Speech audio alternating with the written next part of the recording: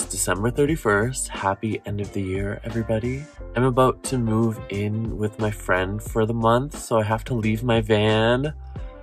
And I wanted to film this little clip because I'm leaving in like an hour and I'm gonna have separation anxiety. I just put up these lights. Aren't they cute?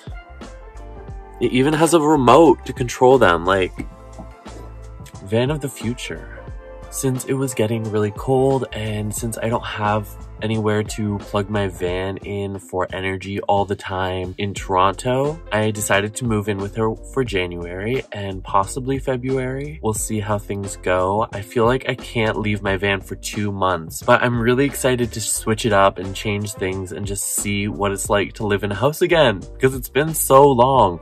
Literally, since I've lived in a house, it was last November, November 2019 or something. But I think this will be a great opportunity to just like focus on my work and not have all these distractions of upkeep of my van I don't have to search for energy and water all the time, so I can focus on making videos and making art and making crafts, and I'm bringing a lot of that stuff with me, so hopefully we can create some interesting things. I have definitely created a really cozy space for me in here, and I feel so comfortable to do any of my hobbies. I feel like I'm equipped with everything in here and it's just turned into a really safe, comfortable space for me. So I'm really excited that I always have this van to come back to if the world outside is too stressful, too much, uh, because it has been. But let's try this house living for a little while, I guess it'll be an experiment. I guess that's it for a check-in. I'll just show you that's all my stuff that I've packed. I have my jacket, my backpack full of stuff, some food, then just crafts and clothes. Good to go, I think. I'm also gonna be bringing my blanket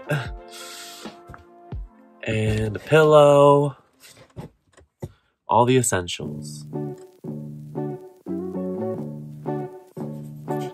Hey guys, so I'm coming to you from somewhere that isn't the van. It's kind of weird, but this is the couch that I'm sleeping on for this month.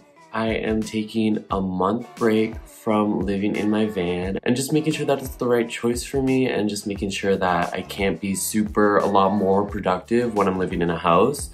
So far I have been, but I've just had this energy to create videos, so that's just been really fun. I'm pretty sure I'm gonna be back in the van in February. Honestly, the weather in Toronto right now, I could probably even manage it Today is minus seven, which is pretty cold. I still think I could do it. It's a really sunny day. That's one of the beautiful things while living in a van. I can just park in the sunshine and it makes a big difference. I am a little bit nostalgic for it because it's been like a week now since I moved out of my van. I haven't been this long away from my van in like over a full year. It's something I am coming to terms to. My emotions are like roller coasters, but I have really enjoyed living here so far. I really enjoy having an oven again. I love cooking uh, and baking and it makes it a lot easier with an oven. But I really appreciate this reflection time of living in a house again and giving my moment for like a little bit of an outside perspective. Uh, there's nothing wrong with my van. I totally would have stayed living in it, no problem.